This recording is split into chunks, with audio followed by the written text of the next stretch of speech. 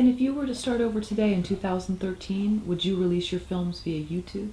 Because some of the distribution deals that you know I've read about that that you got for some of your films, I mean, it was just amazing. You could do them on such a low budget and then turn around, but it really doesn't seem to exist anymore. It was the Wild West, and we're we're hoping for. I mean, for us, the internet hasn't moved fast enough to get, you know, to get where it's going in terms of how can you get revenue uh, in order to get the financing for the films that you want to make. Would you consider YouTube at all? Of course, What- Mhm. What do you see in YouTube that so, there's some people that'll say, "Oh, it'll never, it'll never stick around. There'll be so many copyright infringement." you know, right.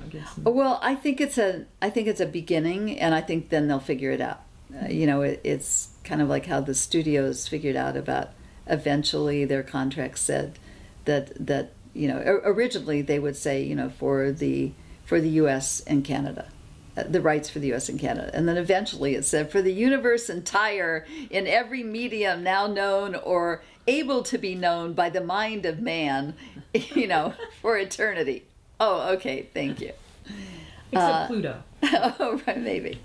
But yeah, it doesn't isn't really a planet anymore. Right. But I, um, but I think that YouTube and some of these other, um, you know, online uh, approaches are they're, they're going to figure it out, and we'll be there, ready to make films.